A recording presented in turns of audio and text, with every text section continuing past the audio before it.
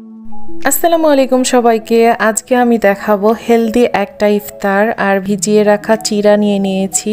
সাথে নিয়ে নিচ্ছি খেজুর, তারপরে হচ্ছে কাঠবাদাম, কিছুটা কিশমিশ তারপরে কাজু বাদাম, পেস্তা বাদাম আর আখ এর সাথে নিয়েছি কিছুটা তোকমা দানা আর চিয়া সিডস। এগুলো আমি আধা ঘণ্টা ভিজিয়ে রেখেছিলাম। এইগুলো এখন একসাথে অ্যাড করে দিব। এর সাথে আমি অ্যাড করব অরিজিনাল মধু। কেউ চাইলে এটা স্মুদি বানিয়েও খেতে পারেন, কিন্তু আমি স্মুদি একদমই লাইক করি না, সেজন্য আমি চিবিয়েই খাই আর চিবিয়ে খেতে আমি স্বাচ্ছন্দ্য বোধ করি। হান্ড্রেড পারসেন্ট অরিজিনাল মধু নিতে হবে, আর মধু আমাদের হেলথের জন্য অনেক উপকারী, এটা আমরা সবাই জানি, সেজন্য আমি বেশি নিব না, এক চামচের মতো নিয়ে নিচ্ছি। এখন আমি অ্যাড করব ফুটিয়ে রাখা গরম দুধ, আর এটা আমি 10 থেকে পনেরো মিনিট ভিজিয়ে রাখব, তারপরে ইফতার করে ফেলব। নর্মালি আমি ইফতার ছাড়াও মাঝে মাঝে এই খাবারটা খেয়ে থাকি, আর এটা আমার ভীষণ পছন্দের একটা খাবার। এই খাবারটা সারাদিন আমাকে অনেক স্ট্রং রাখে অনেক এনার্জি দেয় সেজন্য আমি এটাই খাই। ম্যাক্সিমাম টাইম আমার এটাই ইফতার থাকে। আমার ভিডিওগুলো ভালো লাগলে আমার ফেসবুক পেজকে লাইক ফলো দিয়ে সাথে থাকবেন।